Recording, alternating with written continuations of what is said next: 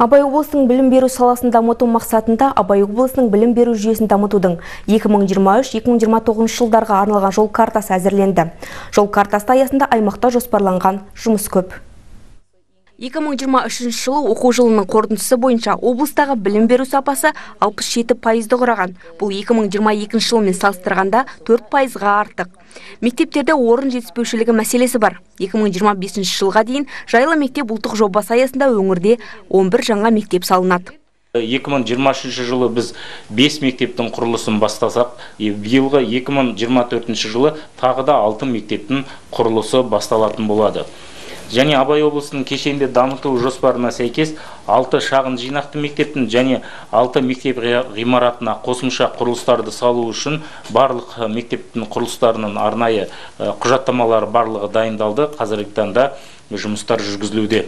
2023 жылы Семей қаласында облыстық психологиялық медициналық педагогикалық кеңес орталығы, асылы мирас аутизм спектрі бұзылған балаларды қолдау орталығы және Абай ауданында психологиялық педагогикалық түзету кабинеті ашылды.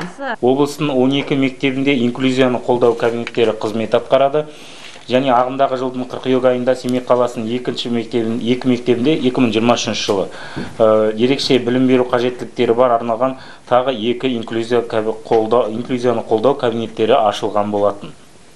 Қазіргі уақытта облысымызда 197 мыңға жуық балаға төрт психологиялық медициналық педагогикалық консультация жұмыс жасауда. Қазақстан Республикасы президенті Қасым Жомарт Тоқаевтың Абай облысына жұмыс сапары барысында берген тапсырмаларын іске асыру мақсатында өңірімізде екі IT мектеп ашылды.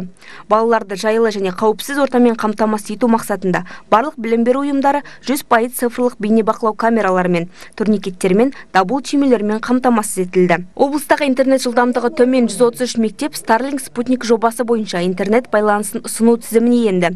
70 мектеп 86 жаңа модификацияланған кабинеттермен жабдықталды арал малиханова аян мұхтарұлы семей телеарнасы.